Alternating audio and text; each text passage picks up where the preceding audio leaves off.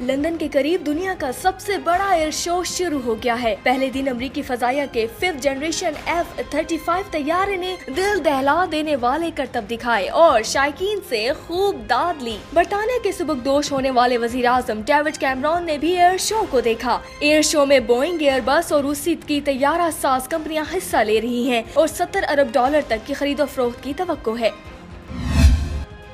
Canada کے شہر Toronto میں اسپائڈر مین اور سپر نینجا کے کاسٹیوم میں ملبوس دو کھلاڑیوں میں باسکٹ بال کا دلچسپ مقابلہ ہوا، جس میں نہ اسپائڈر مین نے اپنے حریف پر جال پھینکا اور نہ سپر نینجا نے تلواروں کے وار کیے۔ دس منٹ تک جاری فرینڈلی میچ چھ چھ گولز کے ساتھ برابر رہا۔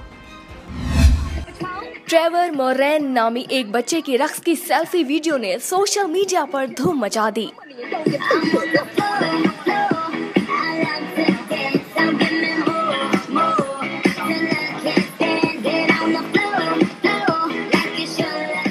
بارہ سالہ ٹریور امریکہ کے مختلف شہروں میں مہنگے کمپیوٹر سٹورز میں جا کر اپنے پرعزم ریپ ڈانس کی سیلفی ویڈیوز بناتا ہے اور سٹورز میں موجود خریداروں سے خوب داد لیتا ہے۔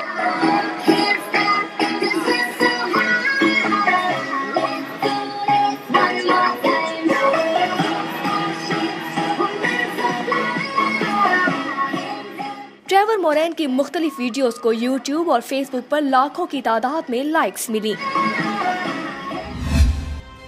اور سنگاپور میں سالانہ کارڈ فلائنگ شو فیسٹیول کا آغاز ہو گیا، جس میں ایک سو سے زائد مقامی اور غیر ملکی ٹیمیں حصہ لے رہی ہیں۔ بلند عمارتوں کے سائے تلے جاری، اس تین روزہ میلے میں اڑ رہی رنگ برنگی پتنگیں مقامی افراد اور غیر ملکی سیاحوں کے لیے خوب تفریح کا باعث بنی